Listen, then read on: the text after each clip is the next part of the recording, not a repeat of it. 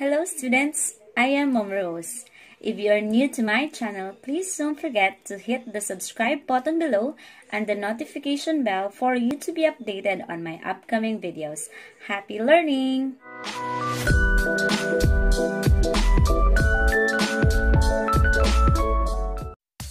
For today, we will discuss how to get the domain of a function. The domain of a function is the complete set of all possible values of x or independent variable. So what are we waiting for? Let's start. In letter A, we have y is equals to 3x minus 2 and in letter B, we have 3x squared minus 4x. These are all polynomial functions. A polynomial function is a function having non-negative integer powers of x. So if we are given a polynomial function, then our domain is an element of real numbers. Let's proceed to letter C. x squared plus y squared is equals to 1. The first step here is to isolate y on one side, so we'll have to transpose negative x squared to the other side. So we have here y squared is equals to negative x squared plus 1. The next step is to place square root on both sides so we'll have y is equals to the square root of quantity negative x squared plus 1. This is a radical function. To get the domain of a radical function, we have to take note of the value of the radicand, that is what's inside the radical sign. The radicand must be greater than or equal to 0 or else our answer will be imaginary. Substituting 1 or negative 1 in our x will give us a radicand of 0, while substituting 0 in our x will give us a radicand of 1.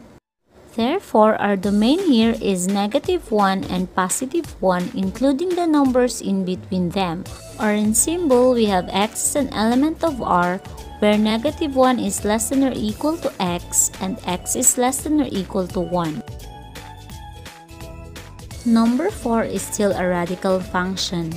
As you can see in our radicand, the x here should be equal or greater than 4 so that we can avoid negative numbers.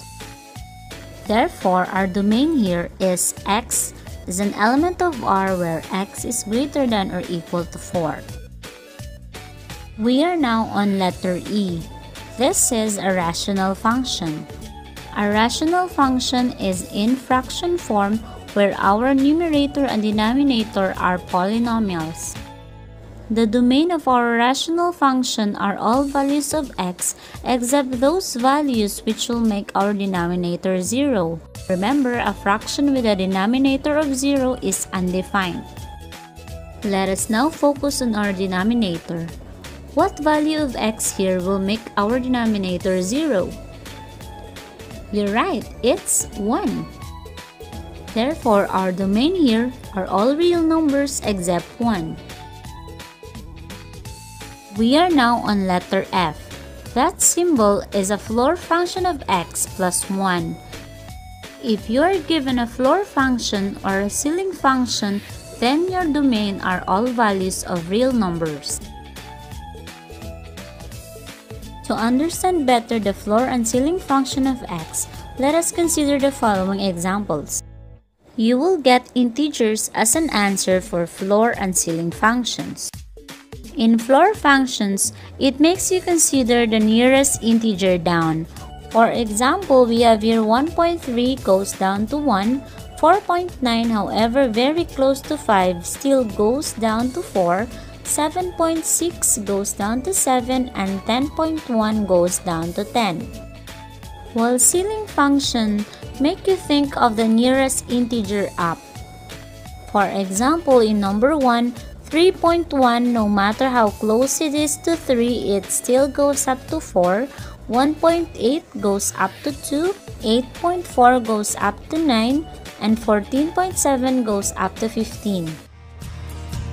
That is all for today. Thank you and see you on our next video lesson.